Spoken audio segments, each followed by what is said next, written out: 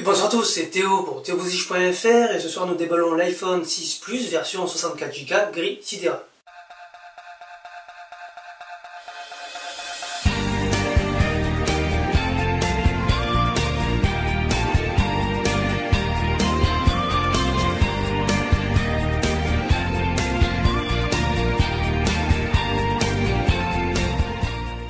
Alors la petite bestiole est là, donc comme vous pouvez constater, le packaging est assez simple, hein. plus d'iPhone en 3D avec des couleurs, etc. C'est assez sobre, donc il y a tout simplement écrit iPhone sur le côté, plus de pommes, voilà. Et donc, quand on vient de déballer ça, on se retrouve donc avec le petit iPhone qui est ici.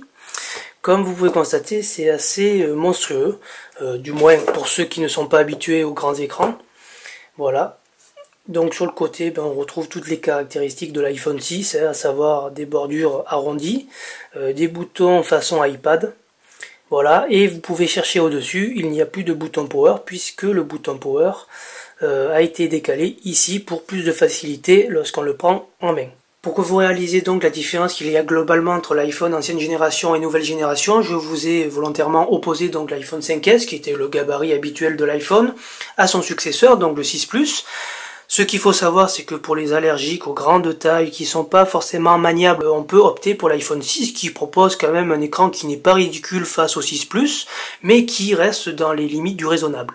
Pour parler de la finesse du smartphone maintenant, l'iPhone 6 Plus continue à maigrir à tel point qu'il est critiqué désormais pour son côté fragile.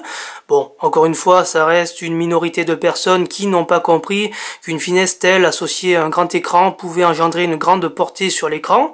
Et de ce fait, si euh, par erreur vous vous asseyez dessus, bien sûr l'aluminium peut plier. Enfin, pour terminer ce déballage, on va regarder rapidement ce qu'il y a dans la boîte du 6 Plus. Donc ici les notices habituelles avec à l'intérieur bien sûr le petit tétillon qui nous permet de sortir la carte SIM qui n'évolue pas je le rappelle par rapport à l'iPhone 5S ou 5 voilà.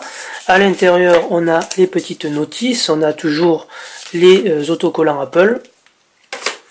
Et dedans toujours les habituels écouteurs d'Apple avec le chargeur plat et le port Lightning de charge et de transfert c'était donc Théo pour théobousiche.fr, j'espère que ce petit déballage vous aura plu. Nous on se retrouve prochainement pour le test habituel audio, vidéo, photo de l'iPhone 6 Plus. Sur ce, je vous laisse et je vous souhaite une bonne fin de soirée.